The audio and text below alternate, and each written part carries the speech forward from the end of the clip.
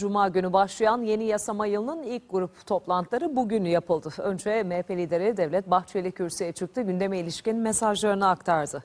Kürt sorunu polemiği ve HDP'nin meşru muhataplığı konusunda yine sert konuştu.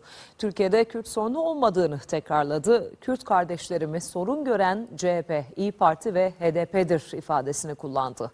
Meclisin her meselenin çözüm mekanı olduğunu vurguladı fakat ihanetin çözüm kaynağı bölünmenin adresi olamaz diyerek CHP lideri Kılıçdaroğlu'na gönderme yaptı.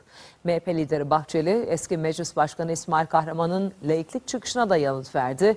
Anayasa temelinde yıkıcı teklifler ancak düşmanları sevindirecektir sözleriyle uyarıda bulundu. Türkiye'de Kürt sorunu yoktur. Kürt kardeşlerimi sorun olarak gören CHP vardır.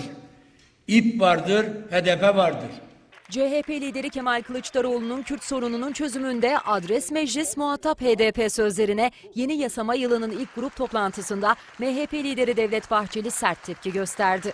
Zillet İttifakı'nın ana ortaklarını ikaz ediyorum. Sözde Kürt sorununu tartışmak demek, milleti tar- tartışmak demektir. Milletin tartışılması, devleti tartışmaya açmakla eş anlamlıdır. Meclis her sorunun çözüm yeridir dedi Bahçeli. Ardından eleştirilerini peş peşe sıraladı. HDP'yi meşru görmek, Kılıçdaroğlu'nu bölücülüğün ve terörün vagonu yapacaktır. Doğrudur. Gazi Meclis'te her meselenin çözüm mekanıdır. Fakat ihanetin çözüm kaynağı olamaz.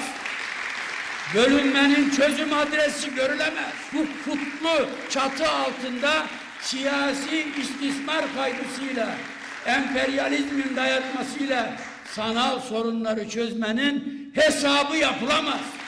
Kılıçdaroğlu'nun önerisinin anayasanın değiştirilemez ilk dört maddesine aykırı olduğunu söyledi. Bahçeli eski meclis başkanlarından ve Cumhurbaşkanlığı Yüksek İstişare Kurulu üyesi İsmail Kahraman'ın anayasada laikliği tartışmaya açan sözlerine de isim vermeden itiraz etti. Laiklik tartışmalarını bir kenara bırakalım. İnanan inanmayanlar kamplaşmasından vazgeçelim. Türk milleti bir Müslüman bir millettir. Manevi değerler üzerinde oynamalar, anayasa temelinde yıkıcı teklifler ancak düşmanları sevindirecektir. Amerika Birleşik Devletleri Temsilciler Meclisi'nin ülke ocaklarının terörist bir grup olup olmadığı araştırılsın önerisine sert sözlerle karşılık verdi Bahçeli. Ülke ocaklarından şehit çıkar, gazi çıkar, kahraman çıkar.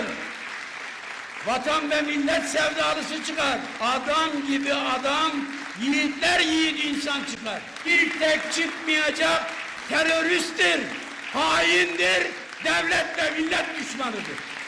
Dünyaya bir kez daha gelsem bin defa ülke ocaklarına giderdim. Yine ülkücü hareketin bir ferdi olurdum. Muhalefete de bir kez daha seçimler zamanında yapılacak diyerek seslendi. Kılıçdaroğlu partisine baskın seçime hazır olun mesajı veriyor. Erken seçim, seçimlerin öne çekilmesi, baskın seçim yoktur. Herkes hesabını 2023 yılının Haziran ayına göre yapmalıdır.